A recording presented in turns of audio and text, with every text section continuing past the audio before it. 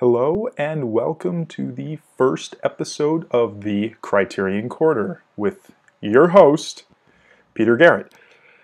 Now, for my first, for my inaugural episode, I decided to do the 1954 Japanese classic, Godzilla, directed by Ishiro Honda.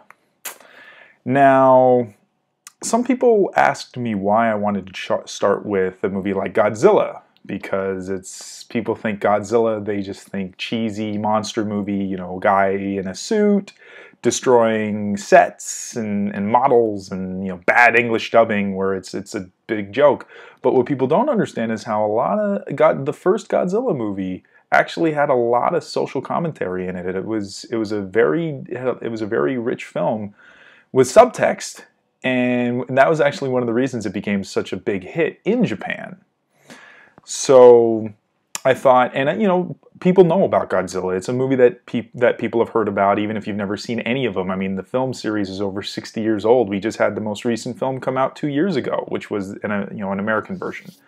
So it's a it's a it's a pop culture stalwart so I figured, hey, and you know, and I love the fact that Criterion released the first film because again, it just shows you how how widely varied their library is. So hopefully, you know, I can tell you a little bit about the movie, and it might give you a little more of an understanding of of how it's it is it is actually a really good film. So the plot of Godzilla is as follows: It's after several fishing boats are sunk under mysterious circumstances and an island village is destroyed, a research expedition discovers that the cause is this giant 165 foot monster that the villagers call Gojira. And they find out that, or it's thought that the monster came, the, the rampaging of the monster was a result of it being disturbed from its hibernation and slumber in the earth through H-bomb testing. And that it was H-bomb it was the H-bomb that essentially is the cause of it coming on land and, and wreaking all this havoc.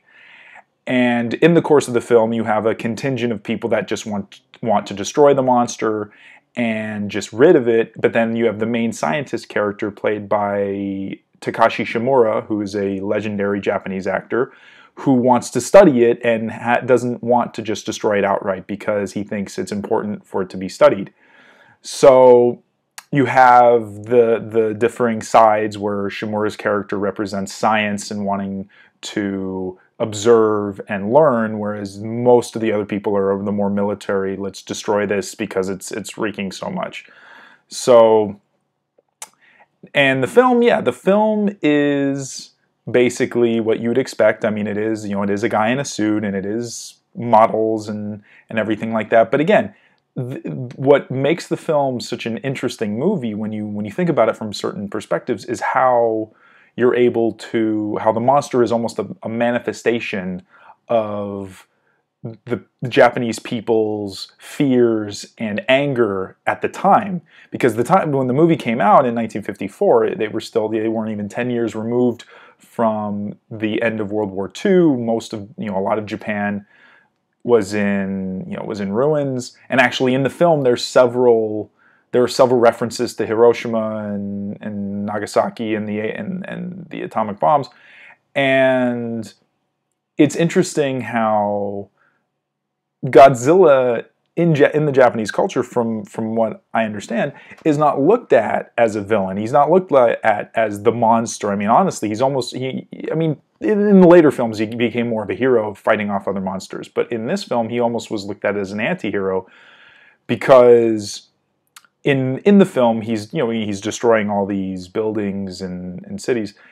And at one point, though, he destroys the Japanese government building, the the Diet building, and from from what I understand, when that happened in the film, audiences would cheer because they were so disillusioned with the government at that time because they blamed the government for getting them into a war, and you know that war leading to all the the destruction that Japanese had that Japan had suffered at that time. And mind you, granted, my, my, my opinions are my opinions. I might be wrong, so obviously I'm sure I'll get comments from people saying that I'm mistaken in some things, but I, I get you know. But the, the beauty about art is that interpretation is a subject is a subjective thing.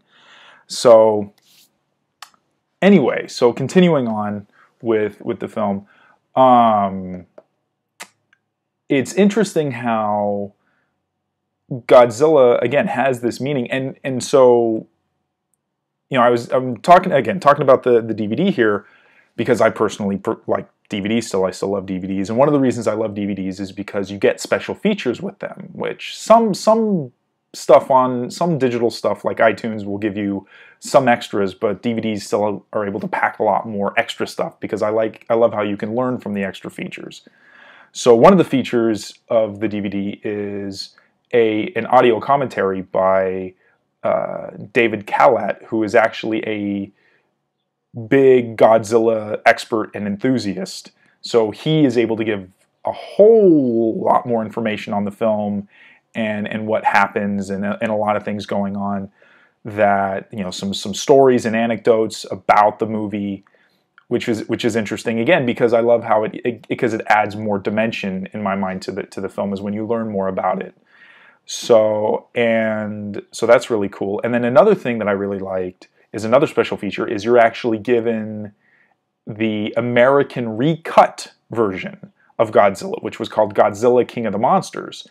And uh, Godzilla King of the Monsters came out in 1956 with starring Raymond Burr as an American journalist who's in Tokyo at the time that Godzilla shows up. So basically the American version is is very similar to the Japanese version, but they cut out a few scenes from the Japanese version replacing it with new scenes that were made for for the American version, and and and you know you've got the you've got some of the bad dubbing. They they kept actually a more Japanese language in it than I thought they would, which was interesting.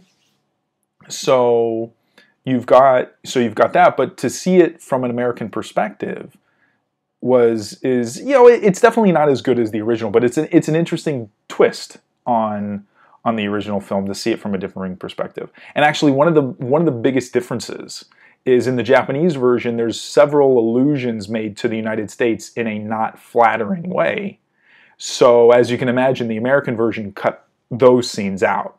Like for instance, there's a scene in the in the original film that has uh, government officials and citizens arguing on whether or not they should tell the public about the monster and and and you know what caused it and but the government doesn't want to because they don't want to risk upsetting trade they call them trade partners in the movie but it's supposed to reference the United States. And again at the time they didn't you know United, the United States was a, was a new partner for them in, in world relations and economics and trade and stuff like that. So uh, basically saying that the United you know that the United States is partially responsible for that and again so in the, the American version that's all gone it's just kind of a it's just a straight monster movie. And what what's cool is how you know the film holds up and it was enjoyed so much because yeah, kids saw it and they it was just it was a monster movie to them. It was just a fun, exciting monster movie. But for adults, when they saw that, when they were able to see the social commentary, they were able to see that this film was addressing concerns and issues that's what made them connect to the film. And that's actually the beauty of science fiction in general. And that's why a lot of people use science fiction as a means to observe and examine social issues. Because, say, before this, it, also a, 19, a classic 1950s sci-fi movie is The Day the Earth Stood Still, which was about which was another element of uh, dealing with the idea of, of you know nuclear power and and destructive capabilities. And so what's cool is just how in science fiction they've over the years they've realized that you can teach and make people think about things without directly referencing it and co- potentially being controversial with it. So if it's a movie, it's not. If it's a monster movie, yeah, nobody cares. They'll be distracted by the monster stuff. But if you look hard enough, you can see the subtext, and that's when good filmmakers and good storytellers are able to infuse that.